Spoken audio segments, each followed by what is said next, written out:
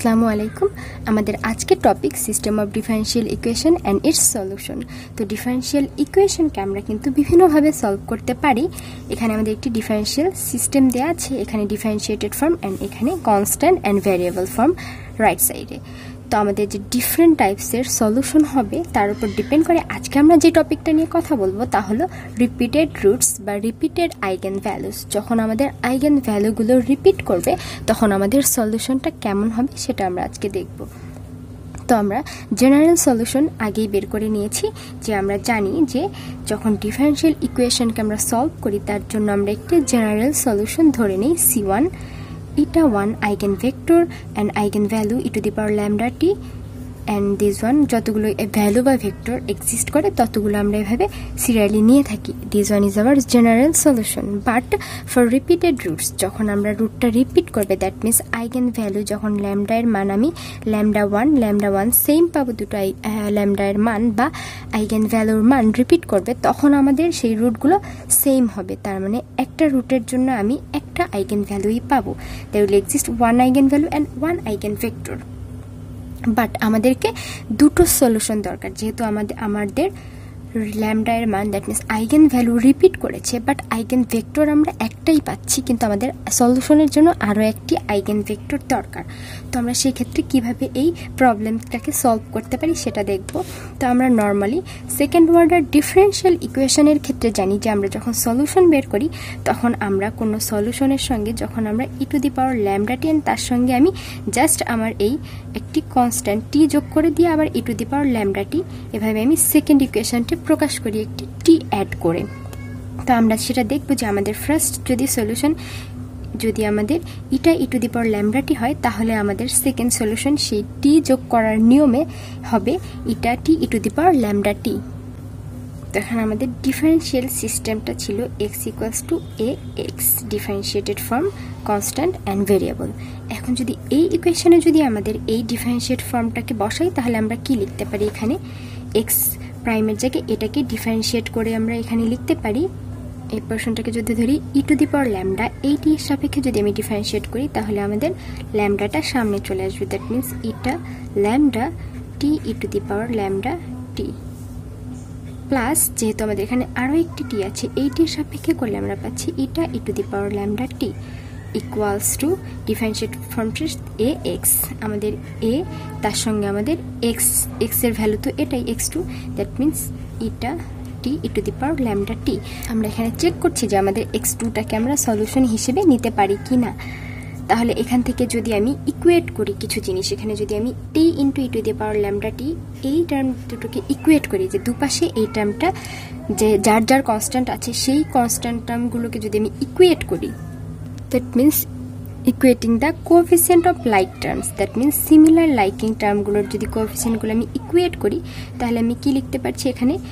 Eta lambda equals to এই same same coefficient A lambda and here e to the power lambda two এই কোএফিসিয়েন্টের সাথে আমাদের একটি এই টার্মের সঙ্গে কোএফিসিয়েন্ট আমাদের এখানে ইটা অ্যান্ড এখানে এই টাইপের কোনো টার্ম নেই। দ্যাট মিনস হেয়ার জিরো তার মানে এই ইকুয়েশন আমরা পাচ্ছি দুটি ইকুয়েশন তো। এখান থেকে আমরা লিখতে পারি A minus lambda I eta equals to zero এটা কমন নিলেই, যেহেতু এটা স্কেলার তার সঙ্গে আইডেন্টিটি ম্যাট্রিক্স তো এটা কিন্তু আমাদের একটি পরিচিত একটি ইকুয়েশন এটা আমাদের মেনে নিতে পারছি। কিন্তু হেয়ার হেয়ার আমাদের আইগেন ভেক্টর যেটা আসছে, সেই আইগেন ভেক্টরটা হচ্ছে জিরো বাট আমরা জানি আমাদের আইগেন ভেক্টর কখনো জিরো হতে পারে না। Can't be zero that means আমাদের এই ইকুয়েশনটা ফুলফিল করছে না। কন্ট্রাডিক্টরি তো আমরা এই সলিউশনটাকে একসেপ্ট করতে পারি না। তার জন্য আমাদেরকে একটু ডিফারেন্ট টাইপ সলিউশন খুঁজতে হবে। তো সেই ডিফারেন্ট টাইপ সলিউশনের জন্য তো come up with this problem আমরা যদি আমাদের এক্স টুকে directly eta t e to the power lambda t না ধরে, তার সঙ্গে প্লাস আকারে আরও একটি আইগেন ভেক্টর সংবলিত টার্ম ধরি,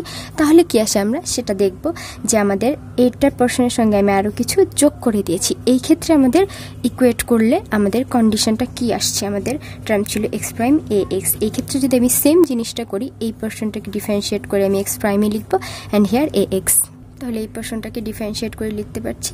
ই ল্যামডা ই ল্যামডা সামনে চলে আসবে, t, e to the power lambda t plus eta e lambda t. Plus এই পোর্শনটাকে একবারে আমি যেহেতু একটাই টি আছে এখানে, তো p lambda e to the power lambda t equals to এখানে আমাদের A and here whole portion is x তো আমি যদি একেবারেই এখানে আমি এটাকে দুটো টার্মের সঙ্গে যদি আমি যোগ করে দিই, তাহলে আমি A P E to the power ল্যামডাটি এভাবে লিখতে পারি। এখন আমরা সেম কাজটা আবার করব। সেম কাজটা আবার করব দ্যাট মিন্স আমি এই আমার লাইক টার্মের কফিসিয়েন্টগুলো আবার ইকুয়েট করার ট্রাই করব। তো এখান থেকে যদি আমি টি e to the power lambda টি এর কোভিসিয়েন্টগুলো ইকুয়েট করি, তাহলে টি e to the power lambda টি এটার coefficient and here t to the power lambda t this one that means নিটা lambda equals to here A eta এটা আমাদের একটা ইকুয়েশন পাচ্ছি and secondly আমাদের আরেকটা টার্ম আছে ই টু দি পাওয়ার ল্যামডা টি। এখন যদি আমরা এই টার্মটাকে নিই, তাহলে আমরা কি লিখতে পারি? তাহলে আমরা এখান থেকে লিখতে পারি, এখানে একটি আমাদের আছে ইটা প্লাস এখানে p lambda. P lambda equals to A e to the power lambda t that means equals to A p এটা আমাদের একটি সেকেন্ড ইকুয়েশন তো আমি ফার্স্ট ইকুয়েশনকে মডিফাই করে নর্মালি লিখতে পারি A lambda I eta equals to zero দুপাশ থেকেই ল্যাম ইটা কমন নিয়ে। তো এটা আমাদের একটি আইগেন ভেক্টর ভেক্টরের কন্ডিশন একটু ফুলফিল করছে। অ্যান্ড সেকেন্ড ইকুয়েশন থেকে আমি কি লিখতে পারি? যেহেতু আমাদের পি দুটোতেই আছে, তাহলে এখান থেকে আমি যদি পি কমন নেই A minus lambda I p equals to আমি লিখতে পারি ইটা দ্যাট মিনস আমি যদি এই টার্মটাকে এ পাশে নিয়ে আসি, তাহলে হবে A minus lambda I p equals to eta তার মানে আমাদের যে সেকেন্ড আইগেন ভেক্টরটা বেরোচ্ছে, সেটিকে আমি কীভাবে বের করতে পারি? আমার এখানে একটি this one is our first eigen vector eigen vector. And এই p is our second eigen vector. Second eigen vector. তো এখন এই পিটাকে আমি তাহলে কীভাবে বের করতে পারি? আমি তো এই ইকুয়েশন ইউজ করে ইটার মান বা ফার্স্ট আইগেন ভেক্টর বের করব অ্যান্ড সেকেন্ড আইগেন ভেক্টর বের করব আমাদের এই ইকুয়েশন ইউজ করে। দ্যাট মিনস যেখানে আমাদের এই ইকুয়েশনের এখানে রাইট সাইডে জিরো না হয়ে আমাদের ফার্স্ট আইগেন ভেক্টরটার ভ্যালুটা বসবে। অ্যান্ড এভাবে আমরা সলভ করলে আমরা কোনো কন্ট্রাডিকশন পাচ্ছি না, দুটি সলিউশন এক্স্যাক্টলি পেয়ে যাচ্ছি। অ্যান্ড এটাকে ইউজ করে যদি আমরা জেনারেল সলিউশন লিখি, তাহলে আমরা লিখতে পারি, আমরা জেনারেল সলিউশন লিখতে পারি C one x one C two x two আমাদের সি ওয়ান তো কনস্ট্যান্ট তো আমাদের এক্স ওয়ান কী ছিল? Eta e to the power lambda t plus C two C two তার সঙ্গে আমাদের এক্স টু আমরা কী নিয়েছিলাম? এক্স টু নিয়েছিলাম ইটা t e to the power lambda টি তার সঙ্গে প্লাস আকারে আরও একটি vector p e to the power lambda t and এটাই হবে আমাদের general solution for repeated roots তো এখানে আমরা এখন একটি প্রবলেম সলভ করব। দেয়া আছে একটি আমাদের initial value problem and here এইখানে আমাদের differentiated form coefficient and x variable তো এটাকে যদি আমরা সলভ করি ফার্স্টে আমাদের যে কাজটা সবসময় আমরা করে থাকি তা হলো আমরা আইগেন ভেক্টর, এই ইকুয়েশন ইউজ করে সরি আইগেন ভ্যালু বের করব এই ইকুয়েশন ইউজ করে, তাহলে আমাদেরকে আমরা কি লিখতে পারি? আমাদের normal seven minus lambda one minus four three minus lambda equals to zero এটা তো আমরা সলভ করা জানি, খুব ইজি নিয়মে আমরা এটা সবসময় সলভ করে আসি। তো আমরা এটাকে সিম্পলিফাই করে এভাবে লিখতে পারি, তো এটাকে যদি আমি আরও ইজি করে লিখি, তাহলে আমরা এভাবেও লিখতে পারি। এখান থেকে আমরা দুটো সলিউশন পাচ্ছি, একটি হচ্ছে আমাদের কমন নিলে minus five minus five common নিলে এখানে মাইনাস ফাইভ দ্যাট মিনস আমাদের দুই ক্ষেত্রেই কিন্তু আমরা স্কোয়ার ফর্মে লিখতে পারি মাইনাস ফাইভই আসছে। স্কোয়ার ফর্মেও লিখতে পারি। তার মানে আমাদের এখানে ল্যামডার ভ্যালু হবে ফাইভ দুটোই ফাইভ অ্যান্ড আইগেন ভ্যালুর রিপিটেড ফর্ম আমরা পাচ্ছি। ল্যামডার ভ্যালু বা আইগেন ভ্যালু পেয়েছি। এখন আমরা আইগেন ভেক্টর বের করব। যেহেতু আমাদের এখানে রিপিটেড ভ্যালু তার মানে আমরা ভেক্টরটা একটু ডিফারেন্ট বা একটু আগে যেভাবে দেখলাম, সেভাবে বের করব। That means for lambda equals to five আমরা ফার্স্টে ইটা বের করব। এটার জন্য আমাদের এটা হবে এটা ওয়ান ইটা টু আমাদের ফার্স্ট আইগেন ভেক্টরটা বের করব, যেটা আমাদের ইটা এটার জন্য আমরা কি লিখতে পারি? এটার জন্য আমরা লিখতে পারি seven minus five one minus four three minus five eta one eta two equals to zero zero তো এখান থেকে আমরা এটাকে মডিফাই করে লিখতে পারি। Two one minus four minus two eta one eta two equals to zero zero তো এখান থেকে আমরা যে কোনো একটি ইকুয়েশন নিয়ে কাজ করলে আমাদের সেম ভ্যালুই পাবো। তাহলে আমরা ইকুয়েশন ফর্ম এটাকে লিখতে পারি two eta one plus eta two equals to zero that means এখান থেকে আমরা ইটার ভ্যালু পাচ্ছি। Eta two equals to minus two eta one তার মানে ফ্রি ভেরিয়েবল হিসেবে যদি আমি ইটা ওয়ানের মানটা ধরে নিই এটা ওয়ান ইকুয়ালস টু যদি আমি ওয়ান ধরে নিই, এক্ষেত্রে আমি জিরো ধরবো না। এক্ষেত্রে যদি আমি জিরো ধরি, তাহলে আমার এটা ওয়ান এটা টু দুটোর ভ্যালুই জিরো আসবে, যেটা আমাদের আইগেন ভেক্টরকে স্যাটিসফাইড করে না। তো আমি ওয়ান ধরে নিলে আমি এটা টু এর ভ্যালু পাচ্ছি মাইনাস টু তাহলে আমি এটা ভেক্টর আইগেন ভেক্টর লিখতে পারি ওয়ান মাইনাস টু এটা আমাদের ফার্স্ট আইগেন ভেক্টর আমাদের সেকেন্ড আইগেন ভেক্টরটি বের করতে হবে দ্যাট মিন্স পি বের করতে হবে। দ্যাট মিন্স এখন আমরা টু ফাইন পি আমরা আমাদের এই first eigen vector we need to solve আমাদের ফার্স্ট আইগেন ভেক্টরটাকে ইউজ করব? উই নিড টু সলভ আমাদের যে ইকুয়েশনটা ছিল, সেটি ছিল আমাদের A minus lambda I p equals to eta এখন আমরা এই ফর্মুলাটা ইউজ করে আমাদের সেকেন্ড আইগেন ভেক্টর পিটাকে বের করব। তাহলে যদি আমি এ মাইনাস ল্যামডা এই ফর্মটা লিখি, আমাদের ফার্স্ট ম্যাট্রিক্সটি যা ছিল এভাবে লিখতে পারি যে আমাদের ম্যাট্রিক্সটি যা ছিল তার সঙ্গে থেকে আমাদের ল্যামডা মাইনাস করলে এই ফর্ম, তার সঙ্গে আমাদের second eigen vector p one p two and here not zero here আমাদের এখানে রাইট সাইডে ইটা বা ফার্স্ট আইগেন ভেক্টরটার মান ভ্যালু এই যে সিস্টেম বা ফর্মুলা ইকুয়েশন এখান থেকে আমরা এখন আমাদের p one and p two এর মান বের করব। এটাকে আমরা সিম্পলিফাই করলে আমরা আবার লিখতে পারি one two minus four minus two p one p two and here one minus two এখান থেকে কিন্তু আমরা একটু দেখলেই বুঝতে পারব যে আমরা কিন্তু সেম ইকুয়েশনটাই পাবো। এখানে p one plus two p one plus p one equals to one আবার এখান থেকেও যদি আমি এই সেকেন্ড রোটা ইউজ করে যদি ইকুয়েশন লিখি, তাহলে কিন্তু আমরা সেম ইকুয়েশনই পাবো। এখানে টু দ্বারা ডিভাইড করলে মাইনাস টু দ্বারা সব জায়গায় টু ওয়ান ওয়ান পাচ্ছি। তার মানে আমরা যে কোনো একটাকে নিয়ে লিখতে পারি। Two p one plus p two equals to one এই ক্ষেত্রে। তার মানে এখান থেকে পি টু এর ভ্যালু বের করতে পারি p two equals to one minus two p one তো এখান থেকে again free variable free variable হিসেবে যদি আমরা পি এর পি ওয়ানের একটা মান নিয়ে নিই, তাহলে আমরা পি ওয়ানের মান নিচ্ছি এই ক্ষেত্রে জিরো যেহেতু জিরো নিলেও আমাদেরকে পি টু এর ভ্যালু জিরো আসবে না কখনোই, এখানে প্লাস মাইনাস আছে। তো পি ওয়ানের ভ্যালু যদি আমি জিরো নিই, তাহলে আমাদের পি টু এর ভ্যালু আসছে one minus zero that is one এখান থেকে আমরা যে পি ভেক্টর সেকেন্ড যেই আইগেন ভেক্টরটা পাচ্ছি তা হচ্ছে জিরো অ্যান্ড ওয়ান যেহেতু আমরা আইগেন ভেক্টর পেয়ে গেছি অ্যান্ড ভ্যালু আছে তো আমরা এখন জেনারেল সলিউশনটি লিখে ফেলতে পারি। এই ফর্মুলাটা ইউজ করি আমরা লিখব। এখানে আমাদের C one e to the power lambda সবসময় ফাইভটি অ্যান্ড আমাদের আইগেন ভেক্টর ওয়ান ইটা বা ওইটা ইটার মান ছিল one minus two one minus two এটা আমরা লিখলাম।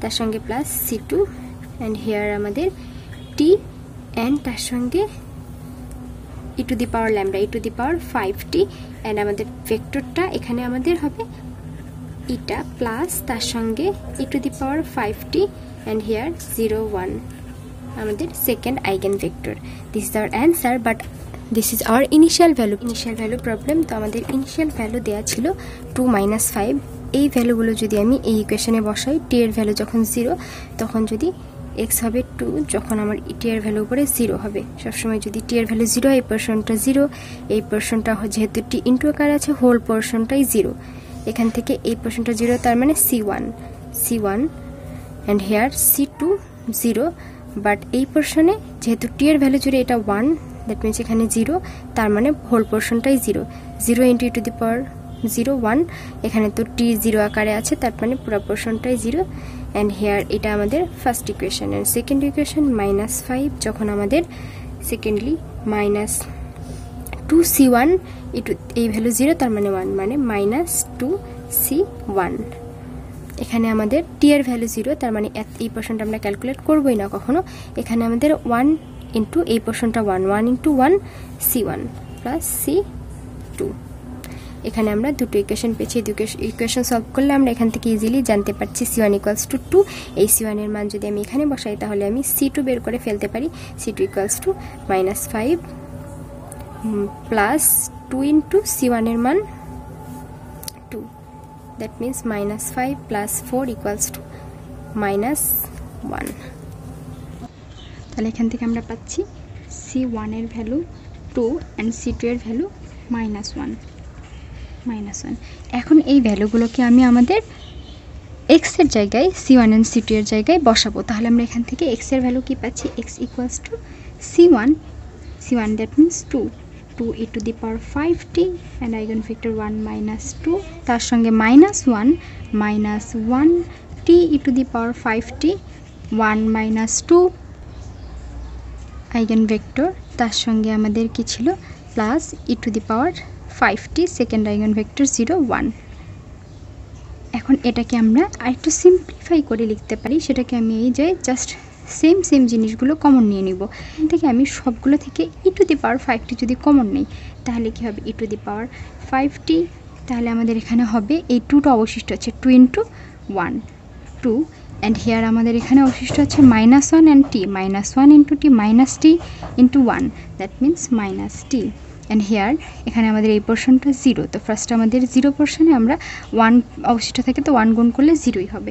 অ্যান্ড সেকেন্ড রো থেকে আমরা কি পাচ্ছি? Two into minus two that means minus four and here minus one into minus two minus one into যদি এখানে আমাদের একটি টি আছে, তো মাইনাস ওয়ান ইন্টু যদি আমরা এখানে মাইনাস টু গুণ করি মাইনাস ওয়ান মাইনাস টুতে টু হচ্ছে তার সঙ্গে t that means plus two t and here আমাদের one into one that means এখানে আমাদের মাইনাস ওয়ান কারণ আমাদের সামনে হচ্ছে মাইনাস ছিল, এখানে প্লাস ওয়ান কিন্তু আমাদের সামনের এই পোর্শনটাতে হোল পোর্শনে মাইনাস ছিল মাইনাস ওয়ান এটাকে যদি আমি আর একটু সিম্পলিফাই করি, তাহলে আমি ইজিলি লিখতে পারি to the power five t 2 minus t and here minus 1 minus 5 that means 2t minus 5t and this is our answer for this solution তো আজকে এ পর্যন্তই